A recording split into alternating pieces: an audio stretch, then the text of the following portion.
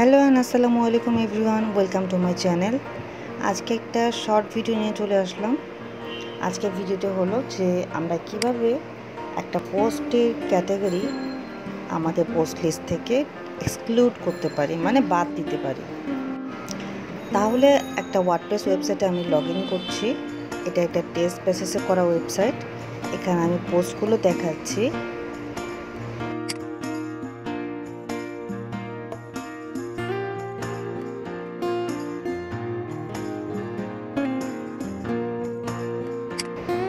এখন আমি ক্যাটাগরিজে চলে যাচ্ছি। এখানে দেখতে পাচ্ছি আমাদের দুইটা ক্যাটাগরি আছে পোর্টফোলিও আর আনক্যাটাগরাইজড আর এখন আমি আপনাদেরকে দেখাবো যে কীভাবে এখান থেকে যে কোনো একটা ক্যাটাগরি আমরা এক্সক্লুড করতে পারি আমাদের ওয়েবসাইট থেকে কিংবা ওয়েবসাইটের একটা কোনো বিশেষ সেকশন থেকে। এখন আমরা যে পেজটিতে এই কাজটি করব, সেটা এডিট উইথ এলিমেন্টার দিয়ে ওপেন করে নিচ্ছি।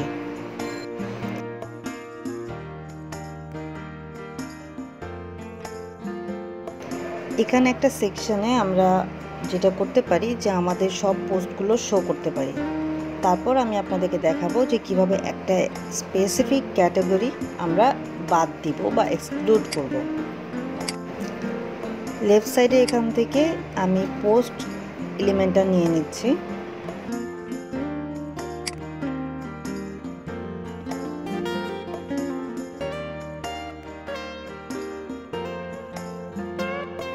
এখানে দেখুন, আমার অল পোস্ট কিন্তু শো করছে।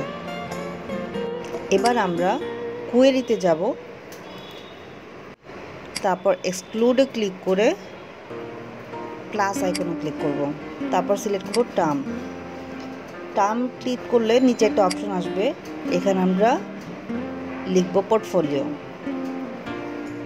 তাহলে দেখুন, আমাদেরকে এখানে সাজেশন দেখাচ্ছে যে পোর্টফোলিও ক্যাটাগরি না ট্যাগ টাইপের নিব। আমি ক্যাটাগরিটা সিলেক্ট করে দিলাম। তাহলে দেখুন, আমাদের পোর্টফোলিও ক্যাটাগরির যে পোস্টগুলো ছিল, দুইটি পোস্ট ছিল, সেগুলো কিন্তু এখন চলে গিয়েছে।